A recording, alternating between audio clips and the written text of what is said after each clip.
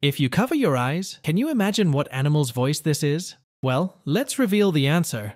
He is the husky that is taking a bath. This husky, named Meat, always likes to sing in the bath, so the staff sometimes have to wear noise canceling headphones to reduce the sound. But his owner says that Meat doesn't bark like this every time he takes a bath, for example. As we've always known, huskies always bring joy to people.